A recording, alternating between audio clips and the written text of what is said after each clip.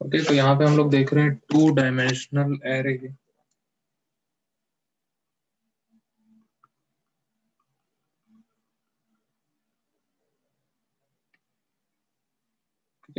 हमने one dimensional array में क्या देखा था? कि हमने एक एरे क्रिएट किया जिसमें कुछ एक सिमिलर टाइप ऑफ़ आइटम होते हैं, लेकिन वो लीनियर मेमोरी यूज़ करते हैं। मीन्स वो कंटिजियस मेमोरी को यूज़ करेगा। और इसका एक इंडेक्स होगा। कुछ इस प्रकार से, और हम लोग को अगर इसको इनिशलाइज करना होता था तो हम लोग कुछ इस प्रकार से इनिशलाइज करते थे। One comma two comma three comma four comma five six seven eight nine और टेन तो ये हम लोग का क्या था? वन डायमेंशनल एरे था, जिसमें सिर्फ़ और सिर्फ़ एक ही डायरेक्शन में हम लोग डेटा को स्टोर कर रहे थे। हम लोग को अगर हंड्रेड डेटा भी स्टोर करना है तो ये और आगे बढ़ते जाता। अब हम लोग क्या करेंगे? यहाँ पे दो डायमेंशन मिलेंगे। मीन्स मान के चलिए इस प्रकार से कि ये एक्स डायरेक्शन था। अब हम लोग एक वाई डायरेक्शन में भी डेटा को स्टोर करेंगे। जैसे कि हमने यहाँ पे one two three four five ऐसा कर लिया, ठीक है? अगर हमें यहाँ पे भी करना है, इस डायरेक्शन में like two three four five इस प्रकार से, ठीक है? यहाँ पे टू के बाद थ्री फोर फाइव सिक्स ऐसा three four five six seven इस टाइप का अगर हम लोग को डेटा स्टोर करना मीन्स यहाँ पे जो डेटा स्टोर होगा, वो रो और कॉलम के फॉर्म में होगा। ठीक है? जिसको हम लोग क्या बोलेंगे? रोज एंड कॉलम्स के फॉर्म में हम लोग यहाँ पे डेटा को स्टोर करते हैं। ये उसी जैसा है जैसे कि मैथमेटिक्स में हम लोग मैट्रिक्स पढ़ते थे। ठीक है? जिसको हम लोग मैट्राइसिस भी बोलते थे। वो उसी प्रकार से यहाँ पे रो बाय कॉलम में डेटा को स्टोर करेगा। तो यहाँ पे हम लोग अगर मान के चलिए फाइव क्रॉस फाइव का हम लोग एक मैट्रिक्स फॉर्म करते हैं।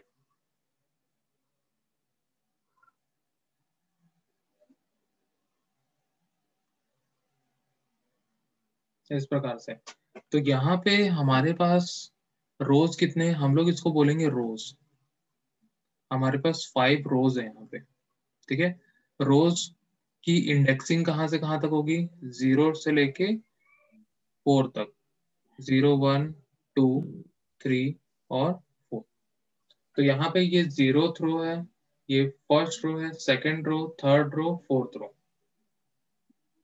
ठीक है? यहाँ पे इसको बोलेंगे कॉलम्स ठीक है? वर्टिकल वाले को हम लोग बोलेंगे कॉलम्स ठीक है? तो यहाँ पे भी जो कॉलम होगा, उसकी भी इंडेक्सिंग होगी। यहाँ पे ज़ीरो ये वाले की होगी वन फिर होगी टू इसकी होगी थ्री इसकी होगी फोर ठीक है? तो यहाँ पे जो हम लोग डेटा स्टोर करेंगे, हम लोग डेटा कहाँ कहाँ पे स्टोर करेंगे? इस पोजीशन में। ठीक है? तो ये भी एक प्रकार की कंटिन्यूस मेमोरी लोकेशन होगी, जो हम लोग जैसा और वन डायमेंशनल एरे में हम लोग करते थे सेम वैसे ही होगा, लेकिन यहाँ पे मल्टीपल कलेक्शन होगा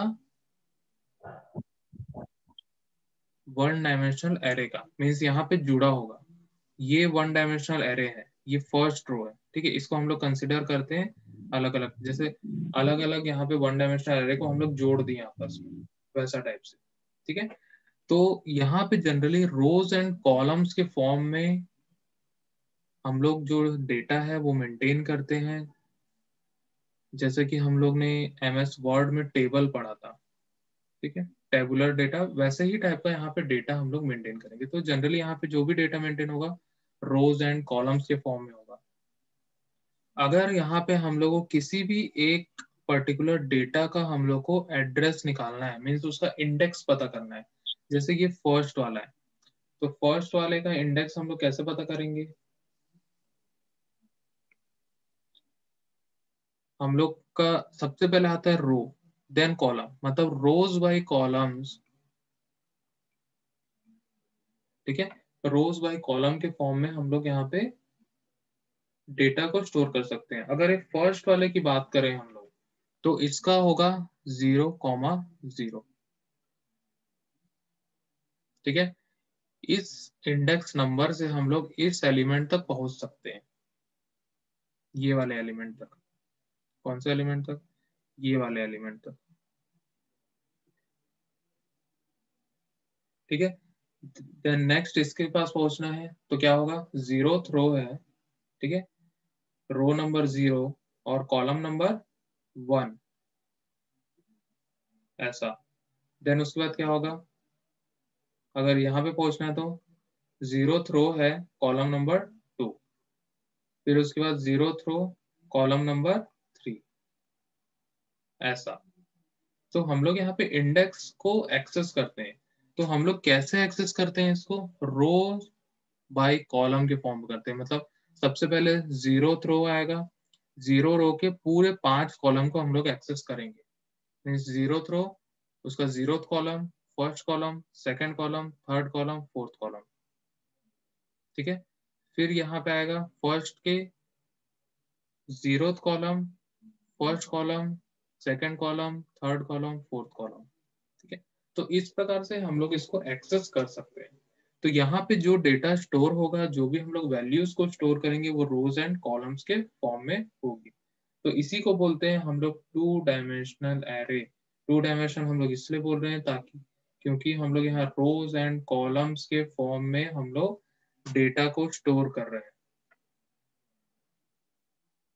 टू डी एरे हम लोग इसको बोलते हैं। The two dimensional array can be defined as an arrays of arrays ठीक है किसी भी एरे का अगर हम लोग एरे बना दे उसको हम लोग टू डायमेंशनल एरे बोलते हैं the 2d array is organized as matrices which can be represented as collection of rows and columns however 2d arrays are created to implement relational database look like data structure it provides ease of holding the bulk of data at once, which can be passed to any number of functions where wherever required. ठीक है? तो generally हम लोग जो to dimensional array बनाते हैं वो generally कुछ कुछ डेटा स्ट्रक्चर्स को हम लोग को रखने के लिए हम लोग बनाते हैं। ठीक है? टू डायमेंशनल एरे में हम लोग रोज एंड कॉलम्स में हम लोग अपने वैल्यूज़ को स्टोर करते हैं। ठीक है? तो टू डायमेंशनल एरे में जनरली हम लोग किसी भी एरे से दूसरा एरे क्रिएट कर सकते हैं। ठीक है? मतलब मान के चलो एक, बहुत सारे एरे हम लोग बनाए वन डी एरे सबको आपस में जोड़ दिए। इस टाइप का स्ट्रक्चर बनता है। तो जनरली जो स्ट्रक्चर बनता है, हमेशा रोज एंड कॉलम्स के फॉर्म में बनता है। तो यहाँ पे हम लोग देखते हैं कि इसको डिक्लेयर कैसे करते हैं। Declaration of two dimensional array in C ठीक है?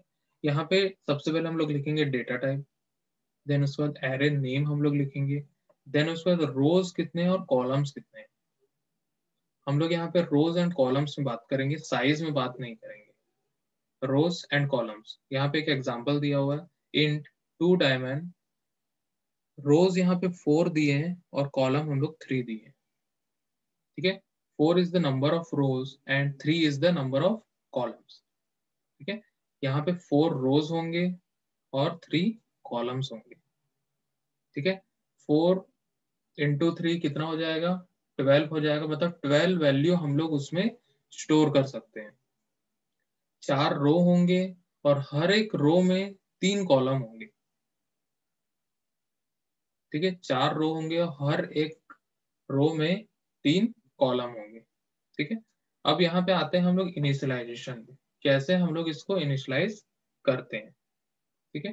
तो यहाँ पे भी इनिशियलाइज करने के दो तरीके हैं हमारे पास। ठीक है? एक तो हम लोग फॉर लूप लगा के इनिशलाइज कर सकते हैं। दूसरा, यहाँ पे कॉमा सेपरेटेड से भी हम लोग कर सकते हैं। यहाँ पे जो फ़र्स्ट मेथड था, जो हमारा वन डी एरे के लिए, जिसमें हम लोग एक एक इंडेक्स को लेके करते थे, वो यहाँ पे पॉसिबल होता है, लेकिन बहुत लेंदी प्रोसेस हो जाता है। तो हम लोग उसको अवॉइड ही करते हैं यहाँ पे। ठीक है? तो हम लोग कुछ इस प्रकार से यहाँ इनिशलाइज कर सकते हैं। Int A R R of four cross three मतलब फोर रोज है थ्री कॉलम्स है। ठीक है? फ़र्स्ट वाला हमेशा रो रहेगा सेकंड वाला हमेशा कॉलम होगा। ठीक है? उसको यहाँ पे हम लोग इस प्रकार से ब्रैकेट स्टार्ट करते हैं और यहाँ पे हम लोग अलग अलग रोज को डिवाइड करते हैं। यहाँ पे फोर रोज है तो फोर करली ब्रैकेट के अंदर हम लोग इसको ग्रुप कर दिए तो यहाँ पे सबसे पहले आते हैं फ़र्स्ट रो में। फ़र्स्ट रो के अंदर तीन कॉलम है। Column number one two, three. Then आते हैं सेकेंड रो में। सेकेंड रो को भी हम लोग करली ब्रेसेस के अंदर ग्रुप किए हुए ठीक है? First column second column third column फिर आते हैं थर्ड रो में। ये थर्ड रो है। थर्ड रो में आ गए हम लोग first column second column third column फिर आ गए हम लोग फोर्थ रो में। उसमें भी तीन कॉलम है। फ़र्स्ट कॉलम सेकेंड कॉलम और थर्ड कॉलम तो इस प्रकार से हम लोग यहाँ पे इनिशलाइज कर सकते हैं अपने 2D एरे को टू डायमेंशनल एरे को। हम लोग यहाँ पे ग्रुप कर लेते हैं ताकि हम लोग को इजी हो कि हम लोग उसको मतलब कौन कौन सी वैल्यू किस किस रो में है वो हम लोग को समझ में आ जाए। तो इस प्रकार से हम लोग यहाँ पे करली ब्रेसेस में ग्रुप करके हम लोग इनिशलाइज कर सकते हैं। यहाँ पे एक एग्जांपल दिया हुआ है। यहाँ पे आता है इंट मेन ठीक है? Int I equal to zero J equal to zero ठीक है? यहाँ इनिशलाइज कर भी सकते हैं, नहीं भी कर सकते हैं, कोई इशू नहीं है। देन उसके बाद हम लोग ने एक टू डी एरे यहाँ पे क्रिएट किया है int A R R of four और थ्री यहाँ पे फोर रोज है थ्री कॉलम्स है। हम लोग इस प्रकार से हम लोग इसको इनिशलाइज कर दिए हैं। ठीक है? अब इसको ट्रेवर्स हम लोग करते हैं। तो सबसे पहले यहाँ पे एक लूप लगाएँगे। ठीक है? सबसे पहला लूप जो होगा हमेशा रोज के लिए चलेगा। फ़र्स्ट वाला जो होगा हमेशा रोज के लिए चलेगा। रोज के लिए। ठीक है? अब इस रो के अंदर हम लोग कॉलम को एक्सेस करेंगे। ठीक है? अब यहाँ पे हम लोग नेस्टेड फॉर लूप का यूज़ कर रहे हैं। नेस्टेड फॉर लूप में सबसे पहले फ़र्स्ट रो को पकड़ेगा। ठीक है, उसके तीनों कॉलम को एक्सेस करेगा।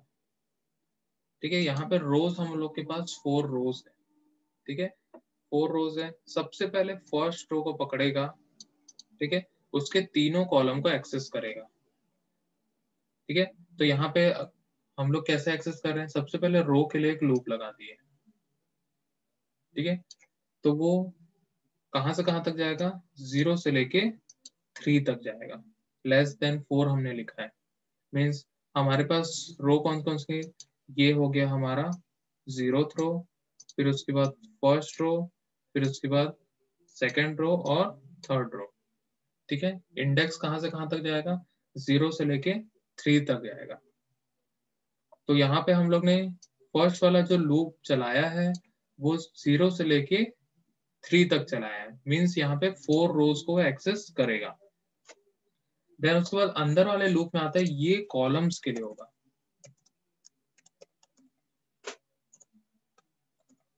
ये कॉलम्स के लिए होगा। जितने भी कॉलम्स होंगे, उसको वो एक्सेस करेगा। तो यहाँ पे हम लोग ने थ्री कॉलम्स बनाया है, ठीक है? हर एक रो में थ्री कॉलम्स है, ठीक है? तो हमने लूप कहाँ से कहाँ तक चला? ज़ीरो से लेके टू तक। लेस देन थ्री हम लोग लिखे मतलब टू तक लूप चलेगा, ठीक है? देन उसके बाद यहाँ पे हमने प्रिंट किया है A R R of percent D then उसके बाद percent D equal to percent D ठीक है? इस परसेंट डी में हम लोग आई की वैल्यू प्रिंट करेंगे, ठीक है? इस परसेंट डी में हम लोग जे की वैल्यू प्रिंट करेंगे और इस परसेंट डी में हम लोग का जो A R R of I J में जो वैल्यू होगी, वो प्रिंट करेगा, ठीक है? अब यहाँ पे हम लोग इसको एग्जीक्यूट करके देखते हैं तो हम लोग समझेंगे कि कैसी हम लोग की वैल्यू आएगी। ठीक है, मैं इसको बहुत ब्रीफ में बता रहा हूँ। ओके तो यहाँ पे हम लोग आ जाते हैं। सबसे पहले आई की वैल्यू हम लोग देखते हैं। आई की वैल्यू है ज़ीरो ठीक है? जे की वैल्यू है ज़ीरो ठीक है? आई की वैल्यू ज़ीरो के लिए लूप चलेगा सबसे पहले। ठीक है? तब ए की वैल्यू सबसे पहले स्टार्टिंग में क्या होगी? ज़ीरो हो जाएगी। जे की वैल्यू ज़ीरो है। ठीक है? और यहाँ पे क्या एक्सेस कर रहे हैं हम लोग? A R R of I J A R R of I J ठीक है?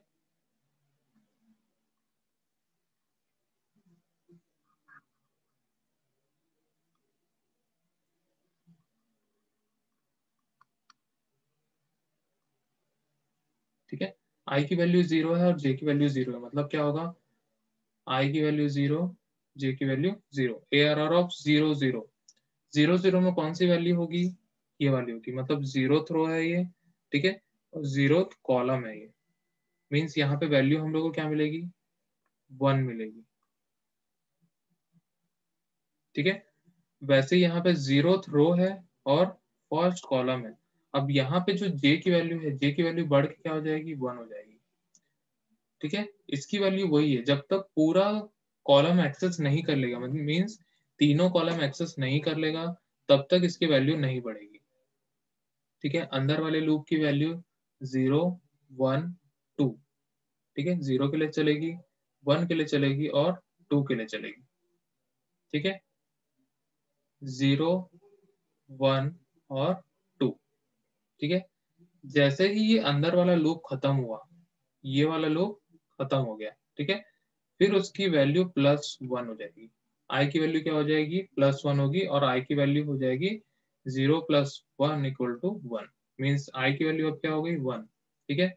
फिर उसके बाद जे की वैल्यू जो है ज़ीरो वन टू चलेगी।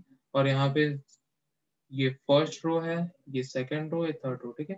फ़र्स्ट रो का एक्सेस करें। फ़र्स्ट रो में zero column first column second column ठीक है? तो ज़ीरो फ़र्स्ट कॉलम मतलब वन और ज़ीरो कौन सा एलिमेंट होगा? ये टू होगा। ठीक है? फ़र्स्ट रो फ़र्स्ट कॉलम ठीक है? तो क्या होगा? थ्री एक्सेस होगा। तो इस प्रकार से यहाँ पे एक्सेस करते जाएगा। तो A R R of I J से हम लोग एक्सेस किसको कर सकते हैं? ठीक है? ये लूप नंबर वन है, ये लूप नंबर टू है। हमेशा रोज के अंदर कॉलम होते हैं। ठीक है? ये रो है रो के अंदर कॉलम बनते हैं। तो लूप भी हम लोग वैसे ही लगाएँगे। रोज के अंदर मतलब ये आउटर जो लूप है हमारा, उसके अंदर में यहाँ पे हम लोग लूप लगा रहे तो यहाँ पे नेस्टेड लूप्स जो हम लोग ने कॉन्सेप्ट पढ़ा था, उसी को हम लोग ने यहाँ पे एरे के लिए इम्प्लीमेंट किया है। इसी से ही हम लोग टू डायमेंशनल एरे को एक्सेस कर सकते हैं रोज एंड कॉलम्स ठीक है?